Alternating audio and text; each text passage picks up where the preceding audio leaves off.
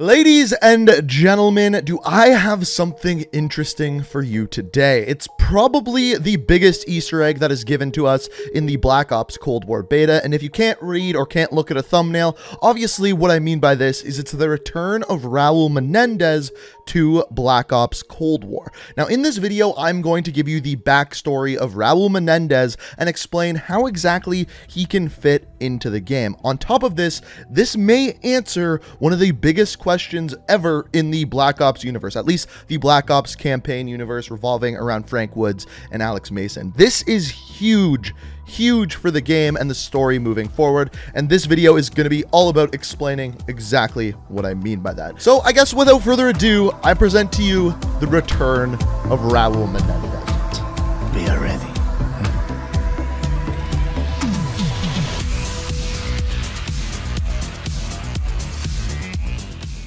So as you guys already know, Raul Menendez was the main antagonist of Call of Duty Black Ops 2 in two stories, in the year 1986 and in the year 2025. He also was brought back in Black Ops 4 in a completely different capacity as a bad guy there as well. We're not going to dive into that. If you want the full story of Raul Menendez, I have that linked down in the description and it'll be after the video. Uh, but this is just primarily going to be about his Black Ops 2 story and Black Ops Cold War story. Now, Raul Menendez was born on September 5th, 19 1963 in Nicaragua, and for the most part, he had a relatively normal family life, except for one big thing. His father, Jose Luis Menendez, was the leader of the Menendez drug cartel, running drugs and making millions upon millions of dollars. Now, on June 19, 1973, an American burnt down the Menendez barn and inside his sister, Josefina Menendez. Now, Menendez's sister did not die in the fire, but disfigured, blind, and set to suffer for the rest of her life.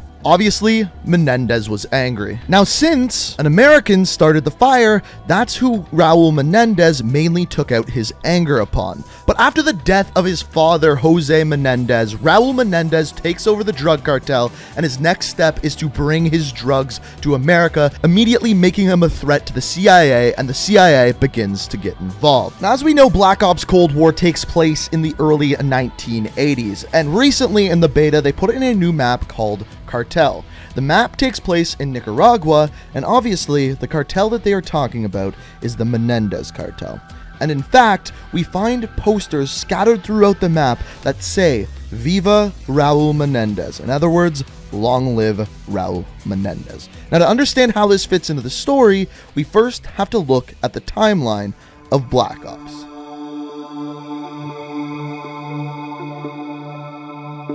So as far as the timeline that matters for this Raul Menendez timeline, the three games that matter are Black Ops 1, which takes place in 1968, and Raul Menendez isn't actually in that game, and then Black Ops Cold War, which the campaign takes place in 1981, and then finally Black Ops 2, which the campaign is split between the year 1986, when you're in the flashback, and 2025, which is the present day of that game. And that is where you see the older version of Raul Menendez that you're probably a lot more akin with.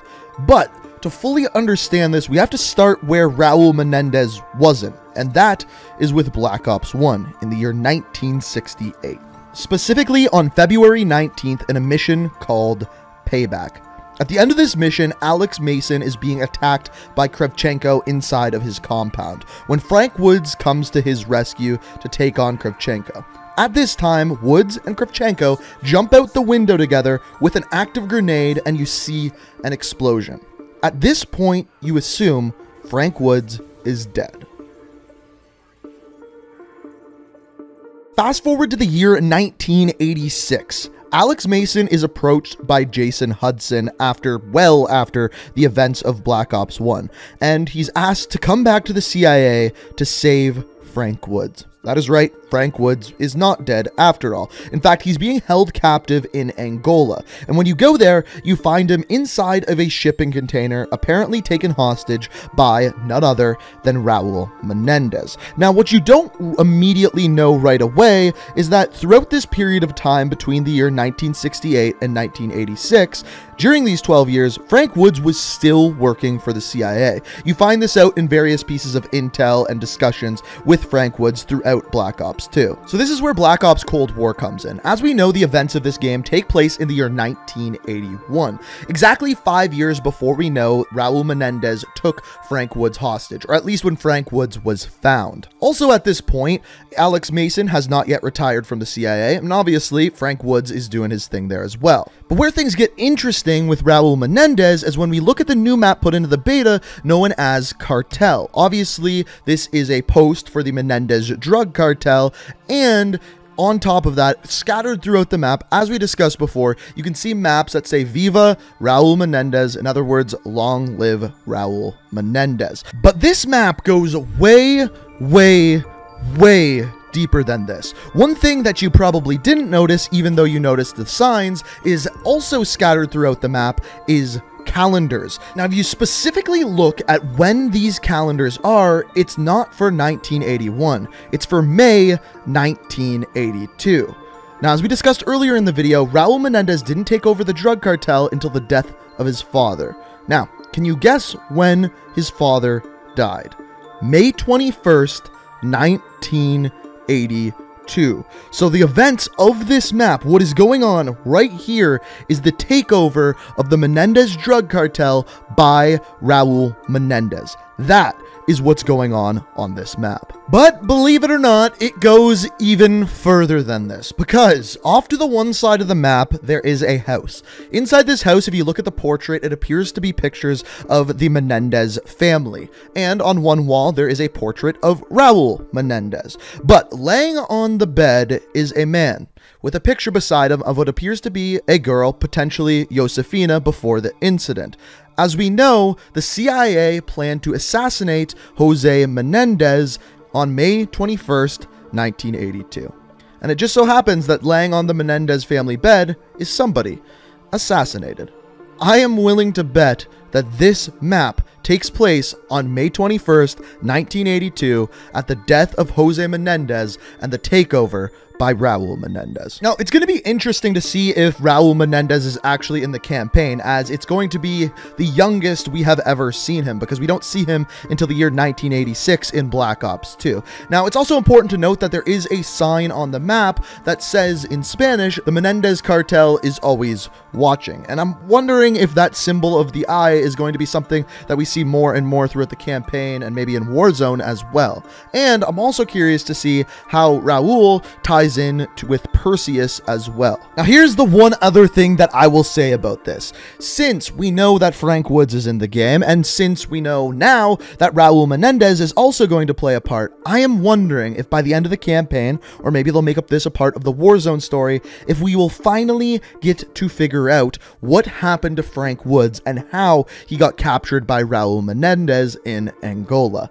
This is something that I would love to see, and it would fill in a big hole in the lore for Black Ops. But there is one more interesting thing about the map cartel. You see, as we talked about before, there are signs and a bunch of different things on walls pointing towards the Menendez drug cartel, and specifically Raul Menendez.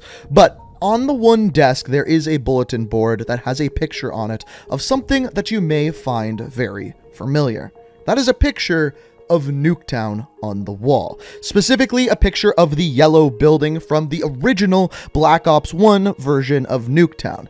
And what this tells us is that this may also be in the game. Now, if you really look at the picture, there are some things that don't match up. There's something big on the right-hand side of the yellow building, kind of looks like a palm tree or something along those lines that isn't normally there in the Nuketown map, which means we're probably going to be getting some new version of it as well. Now, I could make an entire video just talking about this. I don't know if that's something that you're interested in. If you want me to dive a little bit more into Nuketown, all you got to do to show me is simply hit that like button. But today, we dove into the background of Raul Menendez and how his takeover is going to be a part of the story of Black Ops Cold War. And I thought that was extremely cool. So as always, if you did enjoy the video, it is always appreciated if you do hit that like button. If you like what you see here, I try to do these stories about once a week revolving around the Call of Duty lore. So if you like this kind of thing, be sure to hit that subscribe button, turn notifications on.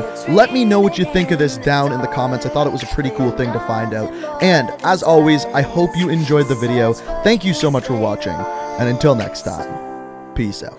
We are, we are